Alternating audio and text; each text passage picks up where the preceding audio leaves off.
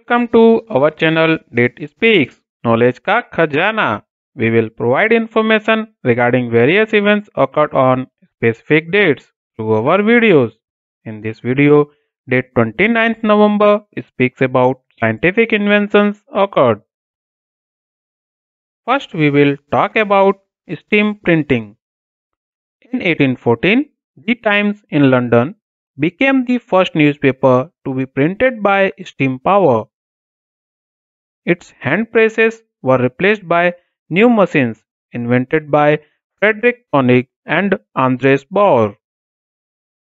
The replacement of hand presses by the new technology meant that for the first time it became possible to produce newspapers on a scale that could meet public demand. Now we will talk about Blue Baby Operation.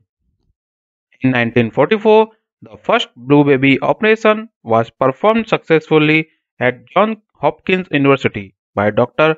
Alfred Blalock and pediatric cardiologist Helen B. Taussig. He devised the first subclavian pulmonary artery anastomosis operation on the cyanotic infant, which had a hole in the wall between the heart's two major chambers. The Blalock-Taussig shunt procedure joined an artery leaving the heart to an artery leading to the lungs in an attempt to give the blood a second chance at oxygenation. Thousands of cyanotic children have been helped by the same operation until later surgeries repair the defect itself.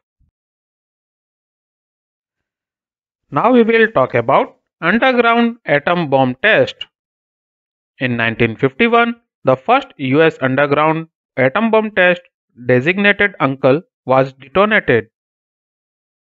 The low-yield 1.2 kT bomb was buried 17 feet subsurface at Frenchman Flat, a 123 square mile dry lake bed at the Nevada test site.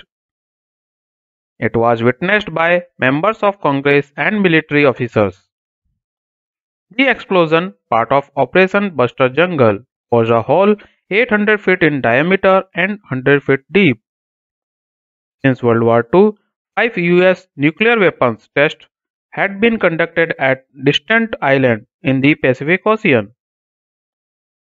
To reduce the extensive logistic effort, time and cost previously involved, testing was begun within the US. Although NTS originally was selected by criteria for atmospheric tests, it subsequently also was used for underground tests.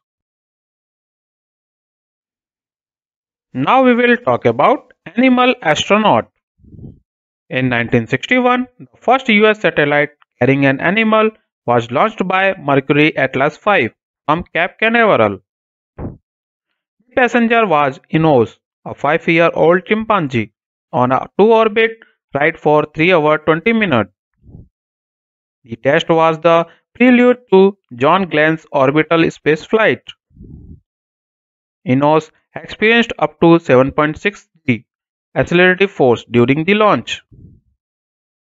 During the flight, Enos carried out the lever pulling performance and psychological tests that he had trained on for the past 16 months.